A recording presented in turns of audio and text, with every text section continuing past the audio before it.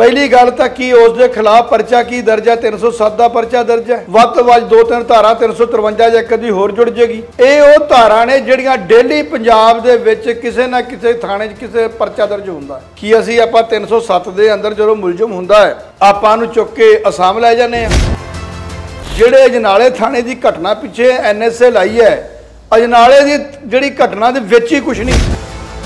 ਸਾਰੇ ਪੰਜਾਬ ਨੂੰ ਪਤਾ ਹੈ ਕਿ ਐਨਐਸਏ ਨਹੀਂ ਬਣਦੀ। ਕਿਸੇ ਨੇ ਐਨਐਸਏ ਤੇ ਬੋਲਿਆ ਹੋਵੇ। ਜਿਹੜਾ ਐਕਟ ਲਾਇਆ ਹੈ, ਉਹਦੀ ਡੈਫੀਨੇਸ਼ਨ ਦੱਸ ਕਿ ਇਹ ਅਮਰਤਪਾਲ ਤੇ ਇਹਦੇ ਸਾਥੀ ਉਸ ਡੈਫੀਨੇਸ਼ਨ ਚ ਆਉਂਦੇ ਨੇ। ਕਿੰਨੀਆਂ ਕੁ ਜਥੇਬੰਦੀਆਂ ਹੱਕ ਚ ਬੋਲੀਆਂ ਨੇ ਅਮਰਤਪਾਲ? ਕਿੰਨੇ ਕੁ ਬੰਦੇ ਆ ਕੇ ਬੋਲੇ? ਉਹ ਕਹਿੰਦੇ, ਜੋ ਪੰਜਾਬ ਸਰਕਾਰ ਕੰਮ ਕਰ ਰਹੀ ਹੈ ਤਾਂ ਪਿਛਲੀਆਂ ਸਰਕਾਰਾਂ ਨੇ ਨਹੀਂ ਕੀਤਾ। ਬੇਸ਼ੱਕ ਜਿਹੜੇ ਪਿਛਲੇ ਲਿਫਾਫੇ ਸੀ ਨਸ਼ਿਆਂ ਨੂੰ ਲੈ ਕੇ, ਉਹ ਹੁਣ ਨਵੇਂ ਖੋਲ੍ਹਣੇ ਕਿੰਨੇ? ਉਹਦੇ ਵਿੱਚ ਉੱਚ ਅਧਿਕਾਰੀ ਅਫਸਰਾਂ ਦੇ ਨਾਮ ਆਏ ਨੇ।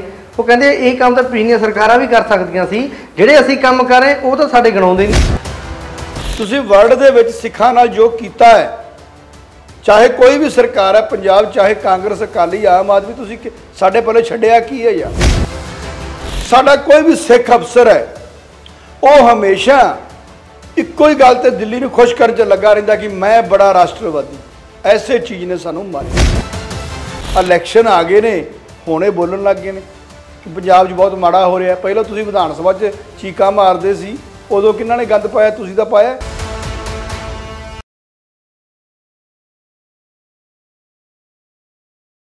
ਸਤਿ ਸ਼੍ਰੀ ਅਕਾਲ, ਤੁਸੀਂ ਲੋਕਰਾ ਟੀਵੀ ਦੇਖ ਰਹੇ ਹੋ ਤੇ ਮੈਂ ਹਾਂ ਪਰਮਿੰਦਰ ਸਿੰਘ। ਅੰਮ੍ਰਿਤਪਾਲ ਦੀ ਗ੍ਰਿਫਤਾਰੀ ਹੋ ਜਾਂਦੀ ਹੈ। ਗ੍ਰਿਫਤਾਰੀ ਤੋਂ ਬਾਅਦ ਅੰਮ੍ਰਿਤਪਾਲ ਨੂੰ ਅਸਾਮ ਲੈ ਕੇ ਜਾਂਦੀ ਹੈ ਪੰਜਾਬ ਪੁਲਿਸ। ਇਸ ਵਿਸ਼ੇ ਤੇ ਗੱਲਬਾਤ ਕਰਨ ਲਈ ਮੇਰੇ ਨਾਲ ਪੰਜਾਬ ਦੇ ਸੀਨੀਅਰ ਵਕੀਲ ਹਰਪਾਲ ਸਿੰਘ ਖਾਰਾ ਮੌਜੂਦ ਨੇ। ਗੱਲਬਾਤ ਕਰਦੇ ਹਾਂ। ਖਾਰਾ ਸਾਹਿਬ ਸਤਿ ਸ਼੍ਰੀ ਅਕਾਲ। ਸਤਿ ਸ੍ਰੀ ਅਕਾਲ ਜੀ। ਠੀਕ ਠਾਕ ਹੋ ਤੰਦਰੁਸਤ ਹੋ? ਖਰਾ ਸਾਹਿਬ ਕੀ ਲੱਗਦਾ ਕਿ ਅੰਮ੍ਰਿਤਪਾਲ ਨੂੰ ਅੱਜ ਜਿਹੜਾ ਅਸਾਮ ਪੰਜਾਬ ਪੁਲਿਸ ਲੈ ਕੇ ਜਾ ਰਹੀ ਹੈ ਇਹਨੂੰ ਤੁਸੀਂ ਕਿਸ ਤਰ੍ਹਾਂ ਵੇਖਦੇ ਹੋ? ਦੇਖੋ ਇੱਕ ਅਮਰਤਪਾਲ ਦਾ ਹਊਆ ਬਣਾਉਣਾ ਸਿੱਖਾਂ ਦਾ ਅਕਸ ਵਿਗਾੜਨਾ ਵਰਲਡ ਦੇ ਵਿੱਚ ਕਿਉਂਕਿ ਜੇ ਅਮਰਤਪਾਲ ਦਾ ਪਿਛੋਕੜ ਦੇਖਿਆ ਜਾਵੇ ਉਹ ਕ੍ਰਿਮੀਨਲ ਬੰਦਾ ਹੈ ਨਹੀਂ। ਕੋਈ ਉਹ ਗੈਂਗਸਟਰ ਨਹੀਂ ਕੋਈ ਉਹ ਫਰੌਤੀ ਨਹੀਂ ਕੋਈ ਕੰਟਰੀ ਦੇ ਖਿਲਾਫ ਨਹੀਂ ਕੋਈ ਉਹਦੇ ਤੋਂ ਇਹੋ ਜਿਹੇ ਵੈਪਨ ਰਿਕਵਰ ਨਹੀਂ ਹੋਏ ਕੋਈ ਉਹਦੇ ਕੋਲ ਇਹੋ ਜੀ ਕੋਈ ਛੜਯੰਤਰ ਜਾਂ ਆਪਾਂ ਕਹਿ ਦੀ ਕੋਈ ਪਲੈਨਿੰਗ ਬਾਹਰ ਨਹੀਂ ਆਈ ਕਿ ਜਿਹੜਾ ਕੋਈ ਹਿੰਦੁਸਤਾਨ ਦੇ ਕਿਸੇ ਲੀਡਰ ਨੂੰ ਜਾਂ ਹਿੰਦੁਸਤਾਨ ਦੇ ਕਿਸੇ ਹਿੱਸੇ ਨੂੰ ਕੋਈ ਡਰ ਹੋਵੇ ਸਿਰਫ ਇੱਕ ਇਹ ਸ਼ੋਅ ਕਰਨਾ ਕਿ ਜਿਹੜਾ ਸਿੱਖ ਹੈ ਉਹ ਇੱਕ ਕ੍ਰਿਮੀਨਲ ਹੈ। ਸਿੱਖ ਇੱਕ ਅੱਤਵਾਦੀ ਹੈ। ਸਿੱਖ ਨੂੰ ਜਿਹੜਾ ਬਾਹਰ ਜੇਲ੍ਹ 'ਚ ਜਾ ਕੇ ਦਿਖਾਉਣਾ ਕੀ ਇਹਦੇ ਦਾ ਬਹੁਤ ਜ਼ਿਆਦਾ ਜ਼ਰੂਰੀ ਜਾਣਾ ਸੀ। ਸੋ ਮੇਰੇ ਦੇਖਣ ਦੇ ਵਿੱਚ ਇੱਕ ਪੰਜਾਬ ਸਰਕਾਰ ਨੇ ਬਹੁਤ ਮਾੜਾ ਕੀਤਾ ਸੈਂਟਰ ਗਵਰਨਮੈਂਟ ਦੇ ਨਾਲ ਰਲ ਕੇ ਕੀਤਾ ਸਿੱਖਾਂ ਨੂੰ ਇੱਕ ਅੱਤਵਾਦੀ ਡਿਕਲੇਅਰ ਕਰਨਾ, ਇਹ ਬਹੁਤ ਕੁਝ ਹੀ ਇੱਕ ਮੈਂ ਕਹੂੰਗਾ ਜਿਹੜੀ ਇਹ ਇੱਕ ਸ਼ਰਾਰਤ ਹੈ ਇਹਨਾਂ ਦੀ, ਉਹ ਗਲਤ ਹੋਈ ਹੈ। ਦੇਖੋ, ਅੱਜ ਉਹਨੂੰ ਲੈ ਕੇ ਗਏ ਨੇ। ਪਹਿਲੀ ਗੱਲ ਤਾਂ ਕੀ, ਉਸ ਦੇ ਖਿਲਾਫ ਪਰਚਾ ਕੀ ਦਰਜ ਹੈ? 307 ਦਾ ਪਰਚਾ ਦਰਜ ਹੈ। ਵੱਧ ਤੋਂ ਵੱਧ ਦੋ ਤਿੰਨ ਧਾਰਾ 353 ਜਾਂ ਕਦੀ ਹੋਰ ਜੁੜ ਜੇਗੀ। ਇਹ ਉਹ ਧਾਰਾ ਨੇ ਜਿਹੜੀਆਂ ਡੇਲੀ ਪੰਜਾਬ ਦੇ ਵਿੱਚ ਕਿਸੇ ਨਾ ਕਿਸੇ ਥਾਣੇ 'ਚ ਕਿਸੇ ਪਰਚਾ ਦਰਜ ਹੁੰਦਾ ਹੈ। ਕੀ ਅਸੀਂ ਆਪਾਂ 307 ਦੇ ਅੰਦਰ ਜਦੋਂ ਮੁਲਜ਼ਮ ਹੁੰਦਾ ਹੈ ਆਪਾਂ ਨੂੰ ਚੁੱਕ ਕੇ ਅਸਾਮ ਲੈ ਜਾਂਦੇ ਆ ਕੱਲ ਨੂੰ ਅਦਾਲਤਾਂ ਦੇ ਵਿੱਚ ਆਉਣਾ ਹੈ ਤੁਸੀਂ ਮੈਨੂੰ ਦੱਸੋ ਕੀ ਪ੍ਰੂਵ ਕਰਨਗੇ? ਜਿਹੜੇ ਅਜਨਾਲੇ ਥਾਣੇ ਦੀ ਘਟਨਾ ਪਿੱਛੇ ਐਨਐਸਏ ਲਾਈ ਹੈ ਅਜਨਾਲੇ ਦੀ ਜਿਹੜੀ ਘਟਨਾ ਦੇ ਵਿੱਚ ਹੀ ਕੁਝ ਨਹੀਂ।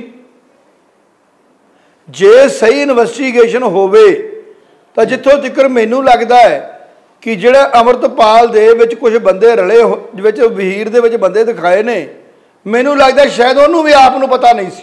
ਉਹ ਬੰਦੇ ਕੌਣ ਸੀ? ਉਹ ਬੰਦੇ ਕਿਸੇ ਸਿਆਸੀ ਪਾਰਟੀ ਦੇ ਸੀ। ਇਹ ਉਹਨਾਂ ਪਾਰਟੀਆਂ ਦੇ ਬੰਦੇ ਸੀ ਜਿਹੜੇ ਪੰਜਾਬ ਨੂੰ ਡੋਬਣਾ ਚਾਹੁੰਦੇ ਸੀ। ਹੂੰ। ਇਹ ਉਹਨਾਂ ਪਾਰਟੀਆਂ ਦੇ ਬੰਦੇ ਸੀ ਜਿਹੜੇ ਕਹਿੰਦੇ ਸੀ 10 ਮਿੰਟ ਸਾਨੂੰ ਅਮਰਤਪਾਲ ਦੇ ਦਿਓ ਅਸੀਂ ਸਹੀ ਕਰਕੇ ਦਿਖਾ ਦਿਆਂਗੇ। ਬਦਕਿਸਮਤੀ ਪੰਜਾਬ ਸਰਕਾਰ ਨੂੰ ਪਤਾ ਹੋਣ ਦੇ ਬਾਵਜੂਦ ਵੀ ਇਹ ਗੱਲ ਬਾਹਰ ਨਹੀਂ ਆਈ। ਇਹਨਾਂ ਨੂੰ ਦੱਸਣਾ ਚਾਹੀਦਾ ਸੀ ਕਿ ਅਮਰਤਪਾਲ ਦਾ ਉਸ ਐਪੀਸੋਡ ਦੇ ਵਿੱਚ ਜ਼ਿਆਦਾ ਰੋਲ ਨਹੀਂ ਸੀ। ਉਹ ਤਾਂ ਸਿਰਫ ਜਿਹੜੇ ਬਾਹਰ ਦੇ ਕੁਝ ਬੰਦੇ ਸੀ, ਜਿਹੜੇ ਇਹਨਾਂ ਦੇ ਵਿੱਚ ਵੜੇ ਹੋਏ ਸੀ, ਉਹ ਇਨਵੈਸਟੀਗੇਸ਼ਨ 'ਚ ਆਉਣੇ ਚਾਹੀਦੇ ਸੀ। ਫਿਰ ਉੱਥੇ ਕੋਈ ਵੀ ਦੇਸ਼ ਵਿਰੋਧੀ ਗੱਲ ਨਹੀਂ ਹੋਈ। ਹੁਣ ਇੱਕ ਥਾਣਾ ਘੇਰ ਲਿਆ। ਇਹਨਾਂ ਦੇ ਮੁਤਾਬਕ ਥਾਣੇ 'ਚ ਚਲੇ ਗਏ। ਥਾਣੇ 'ਚ ਕੀ ਹੋਇਆ? ਅੰਮ੍ਰਿਤ ਛਕਾਤਾ। ਮਹਾਰਾਜ ਦੀ ਬੀੜ ਲੈ ਕੇ ਵਾਪਸ ਆ ਗਏ। ਦੇਖੋ, ਜੇ ਹੁਣ ਉਹ ਦੇਸ਼ ਵਿਰੋਧੀ ਹੁੰਦਾ ਬੰਦਾ, ਜੇ ਉਹ ਅਤਵਾਦ ਦੇ ਵਿੱਚ, ਵੱਖਵਾਦ ਦੇ ਵਿੱਚ ਜੋ ਇਹ ਦੱਸ ਰਹੇ ਨੇ, ਉਹਨਾਂ ਦੇ ਮੁਤਾਬਕ ਬੰਦਾ ਹੁੰਦਾ, ਤਾਂ ਉਹ ਥਾਣਾ ਲੁੱਟਦਾ। ਉਥੇ ਮਾਲਖਾਨਾ ਸੀ, ਉਹ ਲੁੱਟ ਲੈਂਦੇ। ਉਹ ਤਾਂ ਕੁਝ ਵੀ ਨਹੀਂ ਲੁੱਟਿਆ। ਕੋਈ ਵੈਪਨ ਤਿੱਕਰ ਨਹੀਂ ਹਲਾਇਆ। ਆਪਾਂ ਨੂੰ ਪਤਾ ਕਿ ਥਾਣਿਆਂ ਦੇ ਵਿੱਚ ਕਿੰਨੀ ਤਰ੍ਹਾਂ ਦੇ ਹਥਿਆਰ ਪਏ ਹੁੰਦੇ ਨੇ। ਕੋਈ ਹਥਿਆਰ ਨਹੀਂ ਛੇੜਿਆ ਉਹਨਾਂ ਨੇ। ਕੋਈ ਮਾਲਖਾਨੇ 'ਚ ਪੈਸਾ ਨਹੀਂ ਲੁੱਟਿਆ। ਕੋਈ ਬਿਲਡਿੰਗ ਨਹੀਂ ਢਾਈ, ਕਿਸੇ ਵੀ ਕੋਈ ਇਹੋ ਜੀ ਪ੍ਰੋਬਲਮ ਹੀ ਨਹੀਂ ਕ੍ਰੀਏਟ ਕੀਤੀ ਉਹਨਾਂ ਨੇ। ਚਲੋ, ਜੇ ਸਰਕਾਰ ਦੇ ਮੁਤਾਬਕ 307 ਬਣ ਗਈ ਸੀ, ਤਾਂ ਯਾਰ ਅਸਾਮ ਥੋੜਾ ਭੇਜਣੀ ਸੀ। ਅੱਜ ਉਹਨੂੰ ਇੱਥੋਂ ਜਹਾਜ਼ ਸਪੈਸ਼ਲ ਕਰਕੇ ਬਠਿੰਡੇ ਤੋਂ ਅਸਾਮ ਭੇਜਿਆ ਗਿਆ ਹੈ। ਕੀ ਦਿਖਾਇਆ? ਫਿਰ ਦੂਸਰਾ 18 ਮਾਰਚ ਤੋਂ ਬਾਅਦ 10 ਤੋਂ ਲੈ ਕੇ 15 ਦਿਨ ਦੇ ਅੰਦਰ ਅੰਦਰ ਪੰਜਾਬ ਦੇ ਵਿੱਚ ਉਹ ਹਾਲਾਤ ਬਣਾਤੇ ਕਿ ਆਪਾਂ ਉਦੋਂ ਪਹਿਲਾਂ ਇੱਕ ਹਫਤਾ ਟੀਚਰ ਸਖਲਾਈ ਲਈ ਸਿੰਗਾਪੁਰ ਭੇਜੇ ਸੀ। ਹੂੰ। ਕਿ ਟੀਚਰ ਜਾਣਗੇ ਜੀ ਸਿੰਗਾਪੁਰ ਤੋਂ ਸਖਲਾਈ ਲੈ ਕੇ ਆਉਣਗੇ। ਤੇ ਜਿਹੜੇ ਬੱਚੇ ਆਪਾਂ ਜੇਲ੍ਹ 'ਚ ਭੇਜਦੇ ਕਿ ਤੁਸੀਂ ਜੇਲ੍ਹਾਂ 'ਚੋਂ ਸਖਲਾਈ ਲੈ ਕੇ ਆਓ ਕੀ ਇਹ ਸਰਕਾਰਾਂ ਦੇ ਚਿਹਰੇ ਨੇ? ਹੁਣ ਦੂਸਰੀ ਸਾਈਡ ਤੇ ਆ ਜੋ ਵਿਰੋਧੀ ਧਿਰ। ਹੁਣ ਅਸੀਂ ਕੱਲੀ ਆਮ ਆਦਮੀ ਨੂੰ ਵੀ ਨਹੀਂ ਕਹਿੰਦੇ। ਹੁਣ ਦੂਜੇ ਬੰਨੇ ਕਾਂਗਰਸ ਹੈ। ਕਾਂਗਰਸ ਨੇ ਵਿਧਾਨ ਸਭਾ ਦੇ ਵਿੱਚ ਪਿੱਟ-ਪਿੱਟ ਕੇ ਕਿਹਾ ਸੀ ਕਿ ਅਮਰਤਪਾਲ ਤੇ ਕੰਟਰੋਲ ਕਰੋ, ਇਸ ਬੰਦੇ ਨੂੰ ਅਰੈਸਟ ਕਰੋ। ਇਹੀ ਹਾਲ ਅਕਾਲੀਆਂ ਦੇ ਲੀਡਰਾਂ ਦਾ ਸੀ। ਜਦੋਂ ਦੇਖਿਆ ਕਿ ਪੰਜਾਬ ਦਾ ਜਿਹੜਾ ਯੂਥ ਅੰਦਰ ਚਲਾ ਗਿਆ ਹੈ, ਹੁਣ ਵੋਟਾਂ ਦੀ ਪ੍ਰੋਬਲਮ ਆਊਗੀ, ਫਿਰ ਬਾਂਦਰਾ ਵਾਗੂਆਂ ਨਾਲ ਛਾਲ ਮਾਰ ਕੇ ਦੂਜੀ ਸਾਈਡ ਤੇ ਆ ਗਏ। 117 ਬੰਦੇ ਐਮਐਲਏ ਜਿਹੜੇ ਪੰਜਾਬ ਦੇ ਚੁਣੇ ਹੋਏ ਨੇ ਇਹ ਹਰ ਬੰਦਾ ਜਿਹੜਾ ਜ਼ਿੰਮੇਵਾਰ ਉਹ ਹਰ ਬੰਦਾ ਜ਼ਿੰਮੇਵਾਰ ਐਮਐਲਏ ਹੈ ਜਿਨ੍ਹਾਂ ਨੇ ਪੰਜਾਬ ਦੇ ਮੁੰਡੇ ਅੰਦਰ ਭੇਜੇ। ਤੁਸੀਂ ਤੁਸੀਂ ਚੋਣਾਂ ਦੀ ਗੱਲ ਕੀਤੀ ਹੁਣ ਜਲੰਧਰ ਦੇ ਵਿੱਚ ਜੀਵਨੀ ਚੋਣ ਹੋ ਰਹੀ ਹੈ। ਉਹਨੂੰ ਤੁਸੀਂ ਕਿਸ ਤਰ੍ਹਾਂ ਵੇਖਦੇ ਹੋ ਕਿ ਜਲੰਧਰ ਦੇ ਵਿੱਚ ਕਿਹੜੀ ਜਿਹੜੀਆਂ ਪਾਰਟੀਆਂ ਦੀ ਆਪਸ ਵਿੱਚ ਫਾਈਟ ਲੱਗੂ?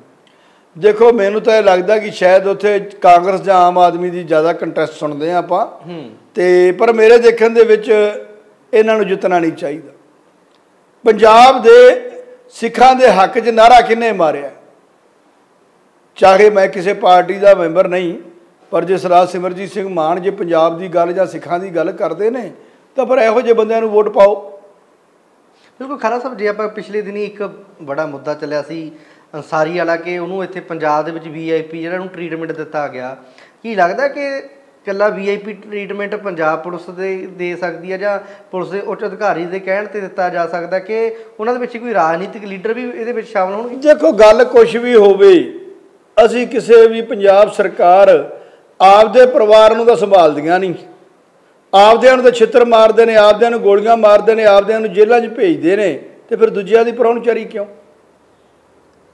ਆਪਦੇ ਤਾਂ ਇਨੋਸੈਂਟ ਬੰਦੇ ਚਾਹੇ ਤਿੰਨੇ ਨੇ ਮੈਂ ਕਹੂੰਗਾ ਤਿੰਨ ਬੰਦੇ ਹੀ ਜ਼ੋਰ ਲਾ ਰਹੇ ਸੀ ਕਾਂਗਰਸ ਅਕਾਲੀ ਤੇ ਆਮ ਆਦਮੀ। ਹੂੰ। ਸੈਕੜਿਆਂ ਦੀ ਗਿਣਤੀ 'ਚ ਪੰਜਾਬ ਦਾ ਯੂਥ ਜੇਲ੍ਹ ਜੇਲ੍ਹਾਂ 'ਚ ਭੇਜਤਾ। ਆਪਦਿਆਂ ਦੀ ਕੋਈ ਹੈਲਪ ਨਹੀਂ ਕੀਤੀ ਇਹਨਾਂ ਨੇ। ਕਿਤੇ ਸੜਕਾਂ ਤੇ ਇਹਨਾਂ ਨੇ ਘੇਰੇ ਪਾਏ, ਕਿਤੇ ਇਹ ਬੋਲੇ ਵਿਧਾਨ ਸਭਾ ਦੇ ਅੰਦਰ ਕੋਈ ਨਹੀਂ ਬੋਲਿਆ। ਸਿਰਫ ਆ ਜਦੋਂ ਦੇਖਿਆ ਹੁਣ ਕਿ ਮਹੀਨਾ ਲੰਘ ਗਿਆ ਹੈ ਇਲੈਕਸ਼ਨ ਆ ਗਏ ਨੇ, ਹੁਣੇ ਬੋਲਣ ਲੱਗ ਗਏ ਨੇ ਕਿ ਪੰਜਾਬ 'ਚ ਬਹੁਤ ਮਾੜਾ ਹੋ ਰਿਹਾ ਪਹਿਲਾਂ ਤੁਸੀਂ ਵਿਧਾਨ ਸਭਾ 'ਚ ਚੀਕਾਂ ਮਾਰਦੇ ਸੀ, ਉਦੋਂ ਕਿੰਨਾਂ ਨੇ ਗੰਦ ਪਾਇਆ, ਤੁਸੀਂ ਤਾਂ ਪਾਇਆ ਗੱਲ ਕੀ ਹੈ, ਅੱਜ ਮੇਰੇ ਮੇਰੇ ਦੇਖਣ 'ਚ ਇੱਕ ਮਹੀਨੇ ਦੇ ਵਿੱਚ ਮੈਨੂੰ ਬਾਹਰੋਂ ਉੜੀਸਾ ਤੋਂ ਇੱਕ ਮੋਬਾਈਲ ਆਉਂਦੇ ਸੀ ਸਿੱਖਾਂ ਦੇ। ਉਹ ਇਹਨੇ ਜ਼ਿਆਦਾ ਘਬਰਾਏ ਹੋਏ ਸੀ। ਔਰ ਇੱਕ 25 ਸਾਲ ਦਾ ਮੁੰਡਾ ਸੀ ਜਿਹੜਾ ਕਹਿੰਦਾ ਸੀ ਉੜੀਸਾ ਦੇ ਵਿੱਚ ਸਾਨੂੰ ਭਾਜਪਾ ਦੇ ਬੰਦੇ ਕਹਿ ਰਹੇ ਨੇ ਕਿ ਤੁਸੀਂ ਪਾਕਿਸਤਾਨ ਨਾਲ ਮਿਲ ਕੇ ਇੰਡੀਆ ਨੂੰ ਤੁਸੀਂ ਬਰਬਾਦ ਕਰ ਰਹੇ ਹੋ। ਯਾਰ ਦੇਖੋ, ਇੱਕ 25 ਸਾਲ ਦਾ ਬੱਚਾ, ਉਹਨੂੰ ਦੂਜੇ ਮਿਹਣੇ ਮਾਰਦੇ ਨੇ ਤੇ ਉਹ ਕਹਿੰਦਾ ਕਿ ਅੰਕਲ ਸਾਡਾ ਜੀ ਕਰਦਾ ਸੀ, ਪੰਜਾਬ ਆ ਜਾਈਏ। ਮੈਂ ਕਿਹਾ, ਪੰਜਾਬ ਆ ਜਾਓ ਭਾਈ। ਇੰਡੀਆ ਦੇ ਅੰਦਰ ਇੰਨਾ ਜ਼ਹਿਰ ਹੈ ਹਰਿਆਣੇ ਤੋਂ ਲੈ ਕੇ ਦਿੱਲੀ ਤੋਂ ਅੱਗੇ ਆਮ ਆਦਮੀ ਪਾਰਟੀ ਨੇ ਭਾਜਪਾ ਨਾਲ ਰਲ ਕੇ ਦੂਜੀਆਂ ਇਹਨਾਂ ਆਪੋਜੀਟ ਪਾਰਟੀਆਂ ਨਾਲ ਰਲ ਕੇ ਸਿੱਖਾਂ ਦਾ ਸਤਿਆਨਾਸ਼ ਪਟ ਕੇ ਰੱਖਤਾ ਇੰਡੀਆ 'ਚ ਇਹਨਾਂ ਨੇ। ਹੁਣ ਆਸਾਮ 'ਚ ਲਿਜਾਣ ਦੀ ਕੀ ਲੋੜ ਹੈ? ਪੰਜਾਬ ਸਰਕਾਰ ਦਾ ਇੱਕ ਬੰਦਾ ਆ ਕੇ ਦੱਸ ਜਿਹੜਾ ਐਕਟ ਲਾਇਆ ਹੈ, ਉਹਦੀ ਡੈਫੀਨੇਸ਼ਨ ਦੱਸ ਦੇਣ। ਕਿ ਇਹ ਅਮਰਤਪਾਲ ਤੇ ਦੇ ਸਾਥੀ ਉਸ ਡੈਫੀਨੇਸ਼ਨ ਚ ਆਉਂਦੇ ਨੇ। ਮੈਂ ਹੱਦ ਮੰਨ ਮੰਨ ਗਿਆ, ਆਪਾਂ ਹੱਦ ਲੈ ਗਈ ਇਹਨਾਂ ਦੀ। ਇਹੀ ਤਾਂ ਕੰਮ ਅੰਗਰੇਜ਼ ਕਰਦੇ ਸੀ। ਜਦੋਂ ਉਹਨਾਂ ਨੇ ਐਕਟ ਬਣਾਇਆ ਸੀ ਉਹ ਇਹੀ ਕੰਮ ਤਾਂ ਅੰਗਰੇਜ਼ ਕਰਦੇ ਸੀ। ਉਦੋਂ ਤੁਸੀਂ ਕਿਉਂ ਪਿੱਟਦੇ ਸੀ? ਉਦੋਂ ਤੁਸੀਂ ਕਿਉਂ ਕਹਿੰਦੇ ਸੀ ਕਿ ਇਹ ਜਿਹੜਾ ਕੰਮ ਹੈ ਬਹੁਤ ਗਲਤ ਹੈ? ਅੱਜ ਤੱਕ ਤੁਸੀਂ ਕਹਾਣੀਆਂ ਸੁਣਾ ਰਹੇ ਹੋ ਥਾਂ ਥਾਂ ਤੇ ਜਾ ਕੇ ਕਿ ਜੀ ਅੰਗਰੇਜ਼ ਭਜਾਤੇ ਦੇਸ਼ ਆਜ਼ਾਦ ਕਰਾਤਾ। ਅੱਛਾ ਹੁਣ ਕਿਹਨੂੰ ਭਜਾਈਏ? ਉਹ ਕਹਿੰਦੇ ਜੋ ਪੰਜਾਬ ਸਰਕਾਰ ਕੰਮ ਕਰ ਰਹੀ ਹੈ ਤਾਂ ਪਿਛਲੀਆਂ ਸਰਕਾਰਾਂ ਨੇ ਨਹੀਂ ਕੀਤਾ। ਬੇਸ਼ੱਕ ਜਿਹੜੇ ਪਿਛਲੇ ਲਿਫਾਫੇ ਸੀ ਨਸ਼ਿਆਂ ਨੂੰ ਲੈ ਕੇ ਉਹ ਹੁਣ ਨਵੇਂ ਖੋਲ੍ਹਣੇ ਕਿੰਨੇ ਉਹਦੇ ਵਿੱਚ ਅ, ਉੱਚ ਅਧਿਕਾਰੀ ਅਫਸਰਾਂ ਦੇ ਨਾਮ ਆਏ ਨੇ। ਉਹ ਕਹਿੰਦੇ ਇਹ ਕੰਮ ਤਾਂ ਪਿਛਲੀਆਂ ਸਰਕਾਰਾਂ ਵੀ ਕਰ ਸਕਦੀਆਂ ਸੀ ਜਿਹੜੇ ਅਸੀਂ ਕੰਮ ਕਰ ਰਹੇ ਉਹ ਤਾਂ ਸਾਡੇ ਗਣਾਉਂਦੇ ਨਹੀਂ। ਨਹੀਂ ਨਸ਼ਾ ਛਡਾਉਣਾ ਕਿਹੜੇ ਕਾਰਨ ਕਰਕੇ? ਪੰਜਾਬ ਦਾ ਯੂਥ ਮਾਰਿਆ ਨਾ ਜਾਵੇ ਆਹੀ ਹੋ ਗਿਆ ਨਾ। ਤੇ ਯੂਥ ਤਾਂ ਆਪਾਂ ਜੇਲ੍ਹਾਂ 'ਚ ਭੇਜ ਦੇਣਾ ਜਿਨ੍ਹਾਂ ਨੇ ਨਸ਼ੇ ਨਹੀਂ ਕੀਤੇ ਤੁਸੀਂ ਜੇਲ੍ਹਾਂ 'ਚ ਭੇਜਦੇ 10-10 ਦਿਨ 12-12 ਦਿਨ। ਜਿਨ੍ਹਾਂ ਨੇ ਨਸ਼ੇ ਨਹੀਂ ਕੀਤੇ ਡਰਦੇ ਫੌਰਨ ਜਾਣ ਲੱਗ ਗਏ। ਤੁਸੀਂ ਵਰਲਡ ਦੇ ਵਿੱਚ ਸਿੱਖਾਂ ਨਾਲ ਜੋ ਕੀਤਾ ਹੈ, ਚਾਹੇ ਕੋਈ ਵੀ ਸਰਕਾਰ ਹੈ, ਪੰਜਾਬ ਚਾਹੇ ਕਾਂਗਰਸ, ਅਕਾਲੀ, ਆਮ ਆਦਮੀ, ਤੁਸੀਂ ਕਿ- ਸਾਡੇ ਪੱਲੇ ਛੱਡਿਆ ਕੀ ਹੈ ਯਾਰ? ਕੁਛ ਤਾਂ ਸ਼ਰਮ ਆਉਣੀ ਚਾਹੀਦੀ ਤੁਹਾਨੂੰ। ਸਿੱਖ ਲੀਡਰ ਹੋ। ਮਾੜੀ ਮੋਟੋ ਮਮਤਾ ਬੈਨਰਜੀ ਵਰਗਿਆਂ ਤੋਂ ਸਿੱਖ ਲਓ ਕਿ ਆਪਦੇ ਲੋਕ ਕੀ ਹੁੰਦੇ ਨੇ। ਤੁਹਾਨੂੰ ਜੀ ਕਿਤਾਬਾਂ ਪੜ੍ਹਨ ਦੀ ਲੋੜ ਨਹੀਂ, ਉਹਨਾਂ ਸਟੇਟਾਂ ਜਾਓ, ਉੱਪਰਲੀਆਂ ਸਟੇਟਾਂ ਜਾ ਕੇ ਵੇਖ ਕੇ ਆਓ ਕਿ ਉੱਥੋਂ ਦੇ ਲੀਡਰ ਆਪਦੀ ਪਬਲਿਕ ਪ੍ਰਤੀ ਕਿੰਨੇ ਵਫਾਦਾਰ ਨੇ। ਆ ਸਾਡਾ ਕੋਈ ਵੀ ਸਿੱਖ ਲੀਡਰ ਹੈ ਸਾਡਾ ਕੋਈ ਵੀ ਸਿੱਖ ਅਫਸਰ ਹੈ ਉਹ ਹਮੇਸ਼ਾ ਇੱਕੋ ਹੀ ਗੱਲ ਤੇ ਦਿੱਲੀ ਨੂੰ ਖੁਸ਼ ਕਰਨ 'ਚ ਲੱਗਾ ਰਹਿੰਦਾ ਕਿ ਮੈਂ ਬੜਾ ਰਾਸ਼ਟਰਵਾਦੀ ਹਾਂ। ਐਸੇ ਚੀਜ਼ ਨੇ ਸਾਨੂੰ ਮਾਰਿਆ ਉਹ ਕਹਿੰਦੇ ਯਾਰ ਦੂਜਾ ਹੋਵੇ ਨਾ ਹੋਵੇ ਸ਼ਾਇਦ ਹਿੰਦੂ ਬਹੁਤ ਵਧੀਆ ਪੰਜਾਬ 'ਚ ਅਫਸਰ ਹੋਵੇ। ਪਰ ਜਿਹੜਾ ਸਿੱਖ ਹੈ ਉਹ ਬੜੀ ਛੇਤੀ ਗੋਲੀ ਮਾਰਦਾ ਸਿੱਖ ਉਹ ਕਹਿੰਦਾ ਨਹੀਂ ਕਹਿੰਦਾ ਮੈਂ ਤਾਂ ਰਾਸ਼ਟਰਵਾਦੀ ਬਣ ਕੇ ਦਿਖਾਉਣਾ ਹੈ। ਮੈਨੂੰ ਤਾਂ ਉੱਪਰ ਪ੍ਰੋਬਲਮ ਹੈ। ਇਹੀ ਸਾਡੇ ਸਿੱਖ ਲੀਡਰਾਂ ਦਾ ਕੰਮ ਹੈ।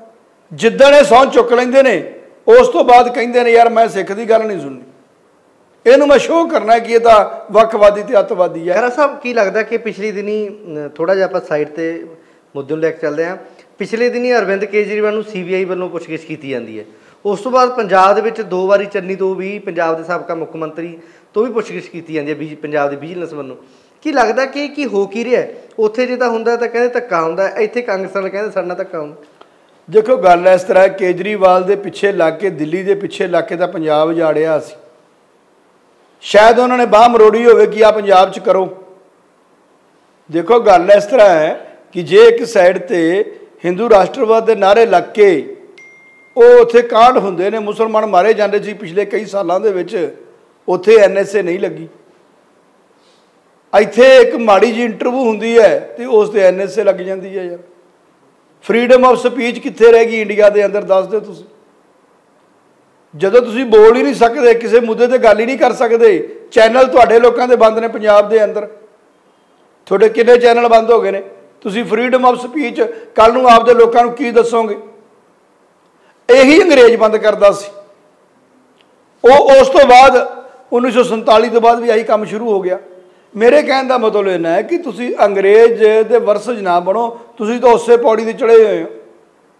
ਸਿੱਖਾਂ ਤੇ ਜ਼ੁਲਮ। ਜੋ ਵੀ ਸਰਕਾਰ ਅੱਜ ਤੱਕ ਆਈ ਹੈ, ਹਰ ਸਰਕਾਰ ਨੂੰ ਇੱਕੋ ਪਤਾ ਕਿ ਜਦ ਵੀ ਫੰਡਾਮੈਂਟਲ ਰਾਈਟ ਦੇ ਲਈ, ਸੰਵਿਧਾਨ ਨੂੰ ਬਚਾਉਣ ਦੇ ਲਈ ਬੋਲੇਗਾ ਤਾਂ ਸਿੱਖ ਬੋਲੇਗਾ। ਜਦ ਵੀ ਕਿਸੇ ਨਾਲ ਧੱਕਾ ਹੁੰਦਾ, ਕਿਸੇ ਸਟੇਟ ਬਾਰੇ ਧੱਕਾ ਹੋਊਗਾ, ਉੱਥੇ ਸਿੱਖ ਬੋਲੇਗਾ। ਤੇ ਕਿਉਂ ਨਾ ਸਿੱਖਾਂ ਨੂੰ ਇੰਨਾ ਡਰਾਇਆ ਜਾਵੇ ਇੰਨਾ ਟੌਰਚਰ ਕੀਤਾ ਜਾਵੇ ਇਹਨਾਂ ਨੂੰ ਹੁਣ ਮੇਰੀ ਗੱਲ ਸੁਣ ਲਓ ਤੇ ਮਹੀਨਾ ਹੋ ਗਿਆ ਸਵਾ ਮਹੀਨਾ। ਮਾਫ ਕਰਨਾ ਮੈਂ ਕਹਿਣਾ ਨਹੀਂ ਬਣਦਾ ਕਿੰਨੀਆਂ ਕੁ ਜਥੇਬੰਦੀਆਂ ਹੱਕ 'ਚ ਬੋਲੀਆਂ ਨੇ ਅਮਰਤਪਾਲ ਦੇ। ਕਿੰਨੇ ਕੁ ਬੰਦੇ ਆ ਕੇ ਬੋਲੇ? ਕੋਈ ਨਹੀਂ ਬੋਲੇ। ਕਿੰਨੇ ਕੁ ਲੋਕਾਂ ਨੇ ਆ ਕੇ ਹਾਂ ਦਾ ਨਾਰਾ ਮਾਰਿਆ। ਸਾਰੇ ਪੰਜਾਬ ਨੂੰ ਪਤਾ ਹੈ ਕਿ ਐਨਐਸਏ ਨਹੀਂ ਬਣਦੀ। ਕਿਸੇ ਨੇ ਐਨਐਸਏ ਤੇ ਬੋਲਿਆ ਹੋਵੇ। ਨਹੀਂ ਬੋਲਦਾ ਕੋਈ ਨਹੀਂ ਬੋਲਦਾ। ਰੱਬ ਜਾਣੇ ਕਿਉਂ ਨਹੀਂ ਬੋਲਦੇ? ਮੈਂ ਕਈ ਵਾਰੀ ਕਹਿਣਾ ਹੁੰਨਾ, ਸਰਕਾਰਾਂ ਸਦਾ ਨਹੀਂ ਰਹਿੰਦੀਆਂ, ਇਹ ਅਫਸਰ ਸਦਾ ਨਹੀਂ ਰਹਿਣੇ, ਇਹਨਾਂ ਨੇ ਬਦਲ ਜਾਣਾ ਹੈ। ਅੱਜ ਜਿਨ੍ਹਾਂ ਨੂੰ ਤੁਸੀਂ ਖੁਸ਼ ਕਰਦੇ ਫਿਰਦੇ ਹੋ, ਇਹ ਤਾਂ ਬਦਲ ਜਾਣਗੇ। ਜਦੋਂ ਕੰਮ ਇਹਨਾਂ ਨੇ ਲੈ ਲਿਆ, ਤੁਹਾਨੂੰ ਛੱਡ ਦੇਣਾ ਇਹਨਾਂ ਨੇ। ਸੋ ਬੜੀ ਮਾੜੀ ਗੱਲ ਹੈ। ਕਿਸੇ ਵੀ ਸੂਝਵਾਨ ਜਾਂ ਵੱਡੇ, ਕਿਸੇ ਬੰਦੇ ਨੇ ਇਹ ਨਹੀਂ ਕਿਹਾ ਕਿ ਐਨਐਸਏ ਦੀ ਡੈਫੀਨੇਸ਼ਨ ਦੱਸ ਦਿਓ, ਇਹਨਾਂ ਦੇ ਖਿਲਾਫ ਬਣਦੀ ਕੀ ਹੈ ਯਾਰ? ਯਾਰ, ਉਹਦੀ ਪਰਸੋਂ ਵਾਈਫ ਬਾਹਰ ਜਾਂਦੀ ਹੈ। 에ਅਰਪੋਰਟ ਤੇ ਰੋਕਿਆ ਜਾਂਦਾ ਹੈ। ਕਿ ਇਹ ਕੋਈ ਜਲੀਲ ਕਰਨਾ ਨਹੀਂ ਸੀ? ਹੱਦ ਲੰਘ ਗਈ ਹੈ 307 ਦੇ ਬੰਦੇ ਨੂੰ। 307 ਵੀ ਨਹੀਂ ਬਣਦੀ। ਉਸ ਇੱਕ ਛੋਟੇ ਜਿਹੇ ਕੇਸ ਵਾਲੇ ਬੰਦੇ ਦੀ ਵਾਈਫ ਨੂੰ ਬਾਹਰ ਜਾਣ ਤੋਂ ਰੋਕਤਾ। ਕਿ ਤੂੰ ਬਾਹਰ ਨਹੀਂ ਜਾਣਾ। ਹੂੰ। ਯਾਰ ਕਮਾਲ ਦੀ ਗੱਲ ਹੈ ਯਾਰ। ਬਹੁਤ ਹੀ ਸਿੱਖਾਂ ਨਾਲ ਉਹ ਕੀਤਾ ਹੈ ਜੋ ਮੇਰੇ ਦੇਖਣ 'ਚ ਕਿਸੇ ਨੇ ਵੀ ਨਹੀਂ ਕੀਤਾ ਜਿੰਨਾ ਸਿੱਖਾਂ ਨੇ ਜਿਸ ਕੰਟਰੀ ਲਈ ਸਿੱਖਾਂ ਨੇ ਪੋਟਾ ਪੋਟਾ ਕਟਾਇਆ ਹੋਵੇ। ਜਿਸ ਲਈ ਆਪਦੇ ਪਰਿਵਾਰ ਗੋਲੀਆਂ ਨਾਲ ਭੁੰਨੇ ਗਏ ਹੋਣ। ਹੁਣ ਪੰਜਾਂ ਚੋਂ ਚਾਰ ਫੌਜੀ ਸਿੱਖ ਸੀ। ਯਾਰ ਉਸ ਕੌਮ ਨੂੰ ਤੁਸੀਂ ਅੱਜ ਤੱਕ ਅੱਤਵਾਦੀ, ਵੱਖਵਾਦੀ, ਨੈਸ਼ਨਲ ਮੀਡੀਆ ਸਾਨੂੰ ਅੱਤਵਾਦੀ ਵਿਖਾਈ ਜਾਂਦਾ। ਹੱਦ ਲੰਘ ਗਈ। ਤੁਸੀਂ ਜਿਹੜੇ ਲੋਕ ਜਿਨ੍ਹਾਂ ਨੇ ਕੀਤਾ ਵੀ ਕੱਖ ਨਹੀਂ, ਤੁਹਾਡੇ ਪੱਲੇ ਵੀ ਕੱਖ ਨਹੀਂ, ਤੁਸੀਂ ਇਸ ਕੰਟਰੀ ਲਈ ਕੋਈ ਦੋ ਕਦਮ ਵੀ ਨਹੀਂ ਚੱਲੇ, ਯਾਰ ਉਹ ਬੰਦੇ ਅੱਜ ਹੀਰੋ ਨੇ ਵਰਲਡ ਦੇ ਵਿੱਚ, ਉਹ ਕਹਿੰਦੇ ਨੇ ਸਾਰਾ ਕੁਝ ਅਸੀਂ ਕੀਤਾ। ਤੇ ਜਿਨ੍ਹਾਂ ਨੇ ਕੀਤਾ ਹੈ, ਉਹ ਅੱਜ ਅੱਤਵਾਦੀ ਨੇ, ਵੱਖਵਾਦੀ ਨੇ। ਸੋ ਇਹ ਫੈਸਲਾ ਤਾਂ ਹੁਣ ਮੇਰੇ ਦੇਖਣ 'ਚ ਰੱਬ ਦੀ ਕਚਹਿਰੀ ਕਰੇ, ਇਹਨਾਂ ਨੇ ਨਹੀਂ ਕਰਨਾ। ਬਹੁਤ ਬਹੁਤ ਧੰਨਵਾਦ ਸਾਨੂੰ ਸਮਾਂ ਦੇਣ ਲਈ। ਇਹ ਸਨ ਪੰਜਾਬ ਦੇ ਸੀਨੀਅਰ ਵਕੀਲ ਹਰਪਾਲ ਸਿੰਘ ਖਾਰਾ। ਤੁਸੀਂ ਜੁੜੇ ਰਹੋ ਲੋਕ ਰਾਏ ਟੀਵੀ ਦੇ ਨਾਲ, ਕੈਮਰਾਮੈਨ ਸੰਦੀਪ ਦੇ ਨਾਲ। ਧੰਨਵਾਦ।